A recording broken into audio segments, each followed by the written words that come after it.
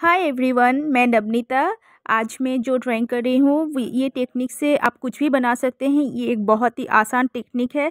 इससे आप किसी भी तरह के कार्ड किसी भी तरह के पेंटिंग्स बना सकते हैं ड्राइंग्स आई मीन टू से तो इसके लिए आपको ऑयल पेस्टल चाहिए। ऑयल पेस्टल से मैंने पहले सारे, मुझे जो कलर पसंद है, मैं उन उन कलर से मैं एक बेस कलर कर ले रही हूँ। इसके बाद आपको क्या करना है? इस कलर को एक टिश्यू पेपर लेके आपको मर्ज कर लेना है। लेकिन प्रॉब्लम ये हो गया कि मेरे, मैंने टिश्यू पेपर से मर्ज किया था, लेकिन उसका वीडियो मैं शायद लेना भूल गई थी।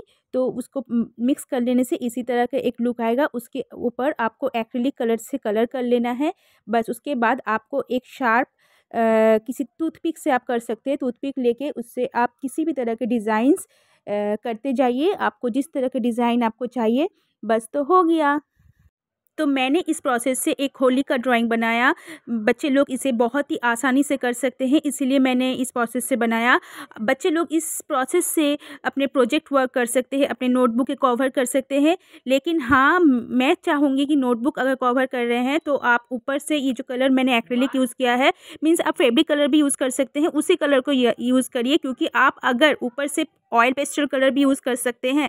लेकिन अगर ऑयल पेस्टल कलर आपने यूज़ किया तो वो हाथ में पूरा ब्लैक ब्लैक होते रहेंगे, निकलते रहेंगे, जिससे आपके नोटबुक गंदे हो जाएँगे, क्योंकि आप ऊपर आपका हाथ लगेगा तो बार बार ये हाथ यहाँ, वहाँ जहाँ भी लगाइएगा ब्लैक हो जाएगा। इसलिए अच्छा है कि आप उसे फेब्रिक कलर या एक्रीलिक कलर से ऊपर वाला पोर्शन पेंट करिए।